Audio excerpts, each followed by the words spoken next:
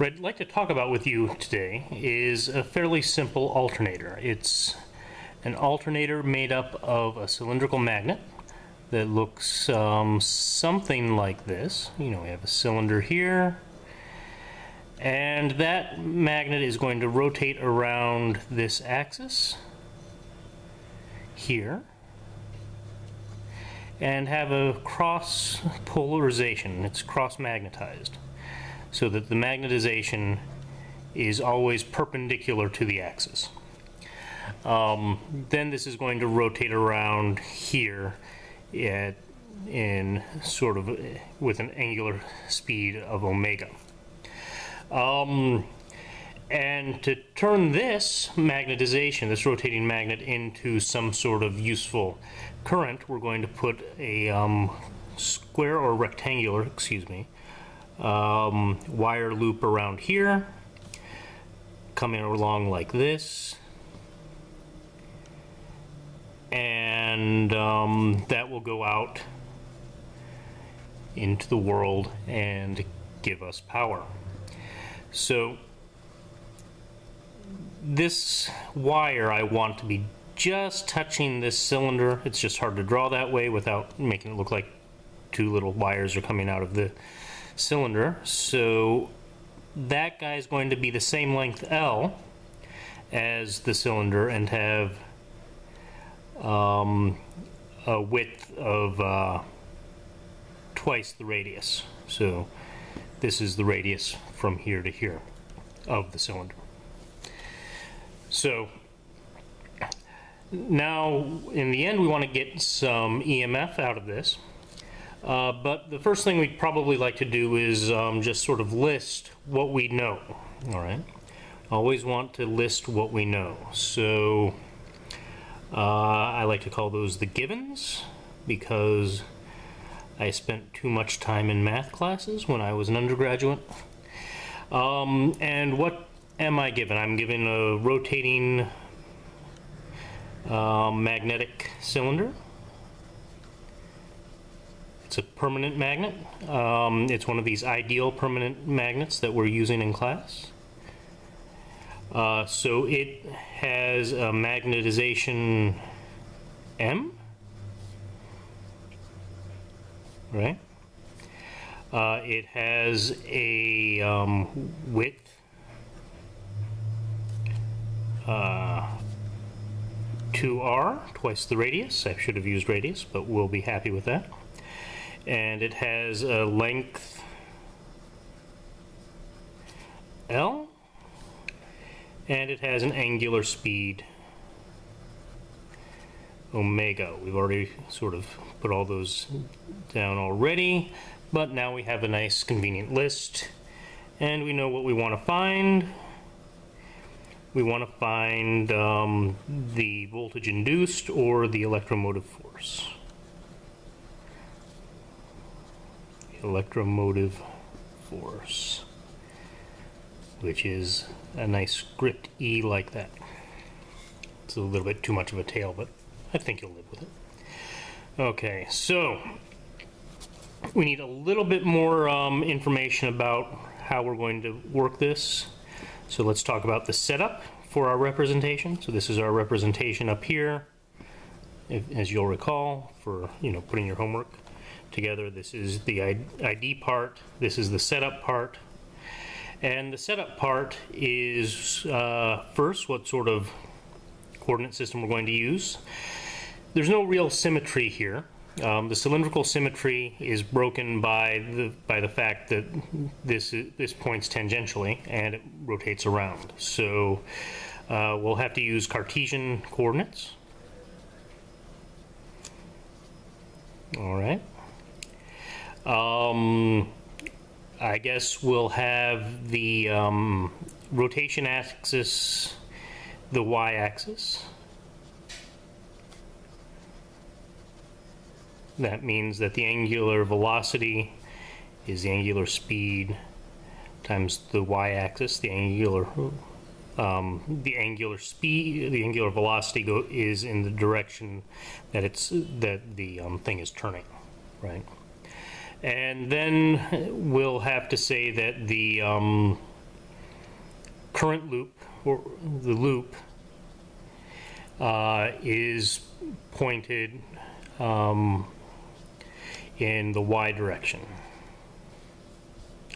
So that its normal is equal to the x hat direction. So that's our setup. All we need now is a strategy. Once we have a strategy, we can solve everything and be happy and go on our merry way. So what sort of things are we going to need here? We're going to need, um, one, we're going to need to write an expression for m. So we need m, the magnetization, a vector quantity, as the function of time. Uh, two, we'll have to find um, b. We'll need to know the magnetic field, and we'll get that from mu naught h plus m. Okay? Then we'll need to get the flux out of that. So we need to find the flux that's going through this loop. And that's going to be um, phi is equal to uh, the double integral of b dot dA. And I'm sort of missing here, let's push this up. Yeah, okay. Uh, let's just get this 4 in there for fun and profit. Um, we want to find the electromotive force, which is just um, the derivative of the flux with respect to time.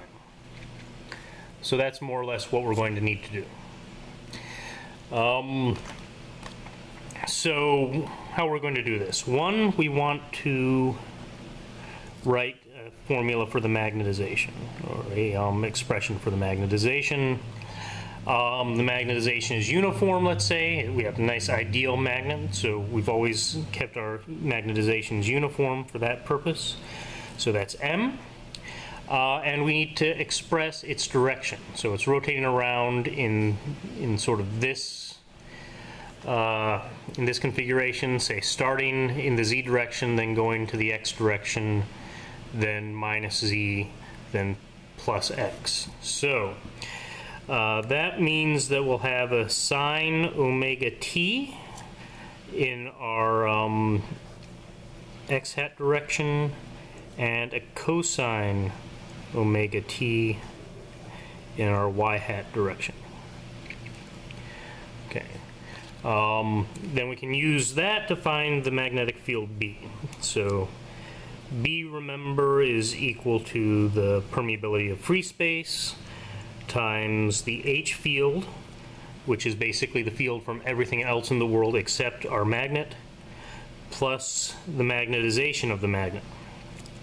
Um, right now, we're looking at this in isolation, so the H field is zero. So B is just going to be mu naught M. And we've already got a nice expression for that right there. So let's go ahead and just say that B is equal to mu naught um, M times uh, sine omega t in the x hat direction. Uh, excuse me, this was supposed to be in the z hat direction. Uh, plus cosine omega t in the z hat direction. Okay. So now we want to find the flux. So in this case, um, we have a uniform B inside of this inside of this wire. And so um, because B is uniform, this B dot dA is becomes uh, b dot the integral b dot the uh, integral uh, times dA and that's just the directed area which is equal to b dot the area of the loop uh, from here to here uh, times the direction of its normal component which is in the x hat direction. Okay. All right, and now the area is just going to be 2r times L, 2r times L, and B is just this thing here. So we can just follow up and say we've got mu naught um, times M times uh, 2r uh, times L and then we have um, we have the dot product of x hat with sine omega t x hat and cosine omega t z hat. So we have sine omega t because x hat and z hat are mutually perpendicular and these are both in the same direction and they're unit vectors so everything's hunky-dory. All right, so finally we're just about there to find our electromotive force script E. We just take our derivative with respect to time of this phi.